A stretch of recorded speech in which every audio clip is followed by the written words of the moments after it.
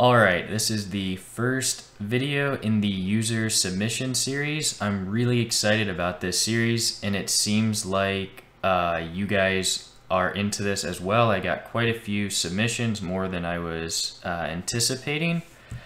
And I, I was going to make this, um, each video have like two or three boards in each. But when I started going through them, there was no way I could cram multiple boards into a 10 minute video.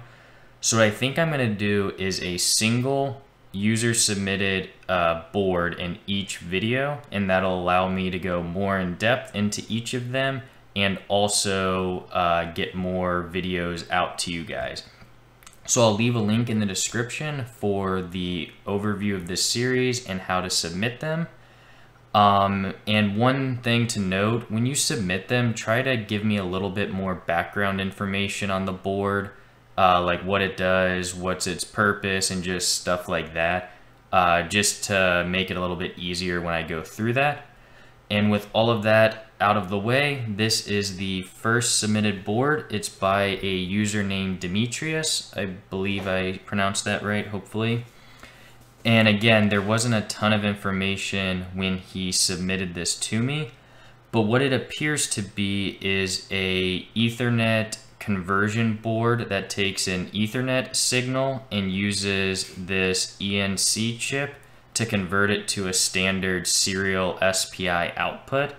Uh, I saw a couple uh, boards online that use this same chip, so I'm pretty sure that's what it does. Uh, hopefully, that's what it does and he said that this was going to be on like a single single layer board. Uh, we can go into that when we get on to the PCB after this. Um, but first, I guess I'll just go through each block and let me know if you like this format of video or if you would rather it be done a different way. So first off, I like how you separate everything into nice and compact blocks. It makes it a lot easier going through it for your I/O connection, uh, looks fine. Um, depending on how you want to do this for the interface, maybe you could add a VCC or ground all in your SPI header, so you at least ground, so you don't have to have your ground reference to a different I/O pin, but you maybe are doing it in a different way than I'm uh, thinking, so that's fine for your Ethernet block here for the ENC chip, uh, looks pretty good. Um, nothing really jumps out at me. Obviously, I didn't go through the uh, the whole data sheet, but from everything that I can gather, it looks fine. Uh, same story with your power converter. Uh, the 100 microfarad output seems like a lot of capacitance for your cap. Um, and usually you want these to be ceramics, but since it's a through-hole board, that makes it a little bit tougher. Um, it should be fine, but just note that's usually higher than is typical on one of these converters. Um, now for your level shifter buffer, um, I'm not too sure on what these are accomplishing. I mean, obviously you're shifting the level um, because what comes in from an Ethernet isn't 3.3. For this one, that makes sense because when this is high, that's high since you hold this low. But with your chip select here, with it being low when it's active, that's fine. But when this goes high, it makes this a high impedance output, um, which is low, but I just don't know why you need the chip select in here. I might be misunderstanding what you're doing, um, and it could be fine. Uh, so just, because typically your chip select goes straight to your board, your chip, which you do have it, but it's also into this, so I, I assume it works fine, um, but just uh, maybe leave a comment about what that is so I could figure that out. And then your magnetic jack seems fine again without looking into the data sheet. um, as long as you get your series resistors properly spec'd, which it seems like you have that accounted for. So overall, with a quick glance, the schematic looks pretty pretty good. Looks um, nice and neat. Nothing jumps out of the page at me. And now going to the PCB itself. So this is another thing I might be misunderstanding your message um, because it's not a single layer board because you do have layers on the top and bottom. Um, so I don't know if maybe I'm misunderstanding something here. But ignoring that message, the big thing that jumps out on me here is your ground pour is really broken up um, to the point where you're going to have some pretty bad ground loops, especially since you're using an Ethernet, which is pretty high speed. Uh, obviously, it just converts it to an SPI line, which isn't near as fast, but your input and output lines, which come in from your Ethernet, I doubt you're going to be able to go over anything over the 10 meg. You're not going to be able to do the 100 or 1,000, uh, mainly because of those ground loops. And also, these are not uh, matched length or impedance at all. And also with through hole components, that adds a lot of noise on these pins here.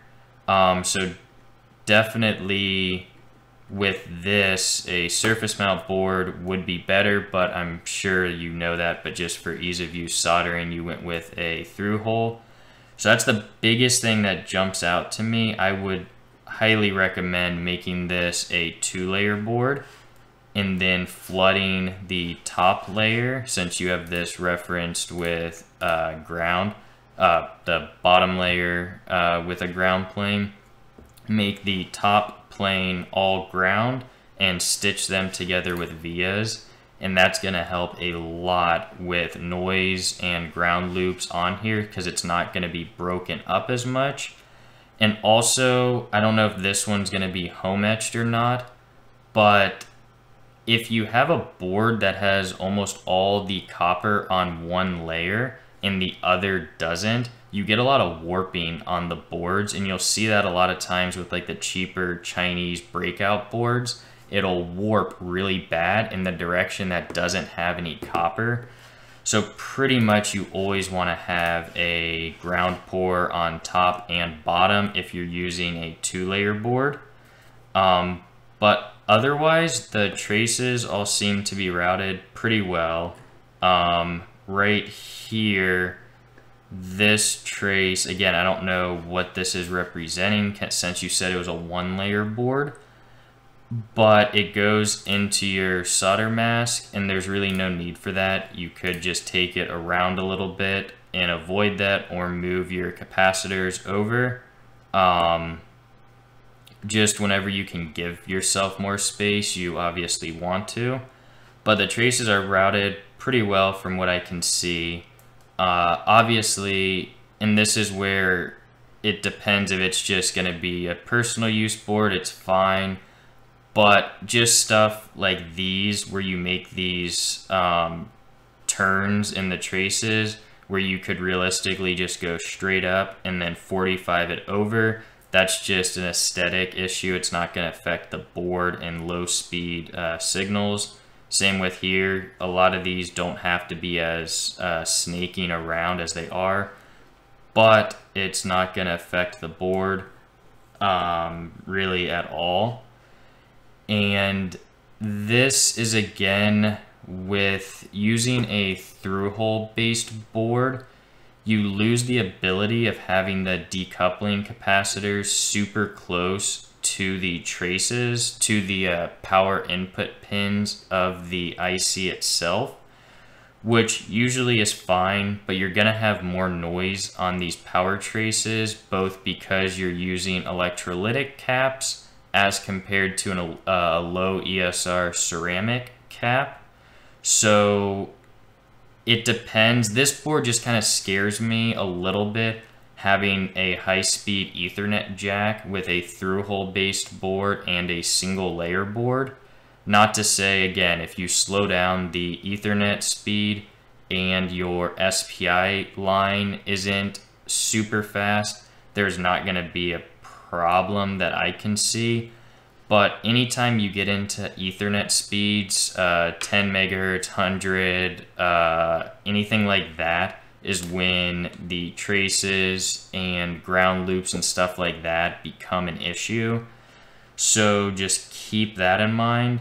And then one other thing that I that I'm not really sure of how your VCC, I'm guessing this is just a jumper where you can use either a 5 volt input to VCC or a 3 3 volt to VCC.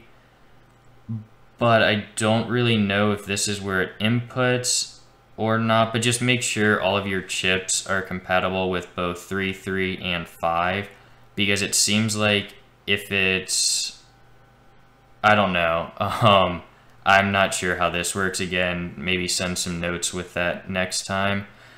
But otherwise, this is a really good looking board uh, layout wise. And as long as the Ethernet speeds are pretty low, I think it should work out pretty good. So hopefully that short little overview was helpful. And like I said, I'll leave a link in the description for how you can submit any other boards and hopefully this series is something that you guys like and we can keep it going. And yeah, let me know in the comments uh, what you think or if there's anything you would like changed or ideas for another series or another video.